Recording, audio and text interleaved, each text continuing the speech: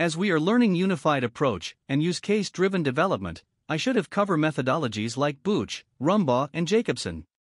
But I didn't, don't worry, I will definitely cover these topics in future. Enough talk. Let's get into the video where you will learn what is unified approach, types of unified approach based on diagrams. What is UML and some of other diagrams which is generally used in the industry.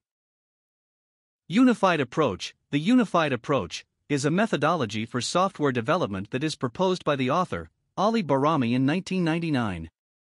The unified approach, based on methodologies by Booch, Rumbaugh, and Jacobson.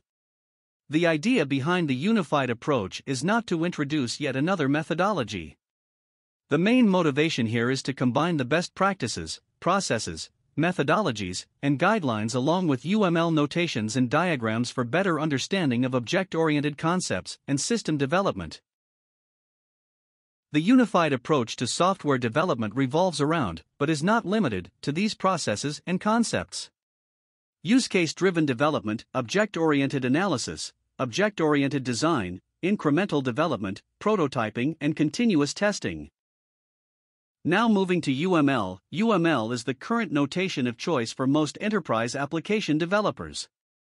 The Unified Modeling Language is, as its name implies, a modeling language to achieve unified approach. On a note, it's definitely not a method or process. UML is made up of a very specific notation and the related grammatical rules for constructing software models. There are varieties of diagrams used in UML. For example, use case diagram, class diagram, activity diagram, sequence diagram. We will look at those one by one later in this video. Before that, there are two main categories structure diagrams and behavioral diagrams. These are come under structure diagrams, and these are behavioral diagrams. Structure diagrams show the things in the modeled system. In a more technical term, they show different objects in a system. Behavioral diagrams show what should happen in a system. They describe how the objects interact with each other to create a functioning system. Starting with structure diagrams.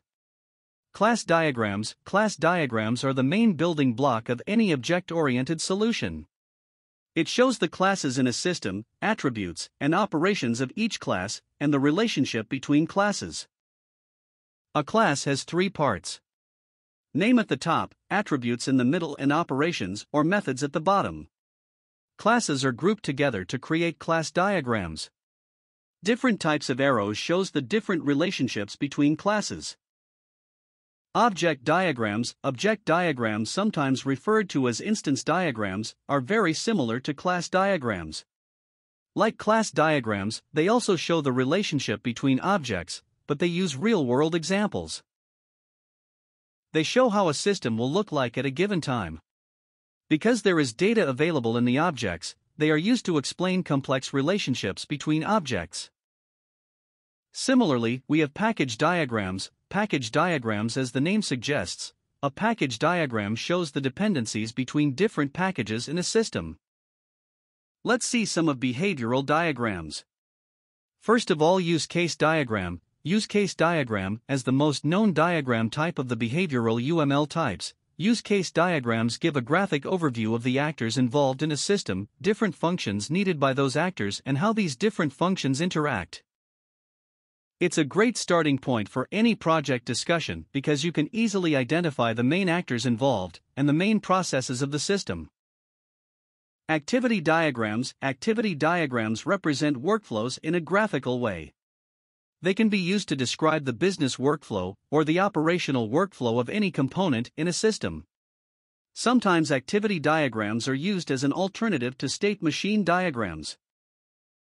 State diagrams State diagrams are similar to activity diagrams, although notations and usage change a bit. They are sometimes known as state chart diagrams as well. These are very useful to describe the behavior of objects, that act differently according to the state they are in at the moment. Sequence diagrams In UML, sequence diagrams show how objects interact with each other and the order those interactions occur. It's important to note that they show the interactions for a particular scenario. the processes are represented vertically and interactions are shown as arrows.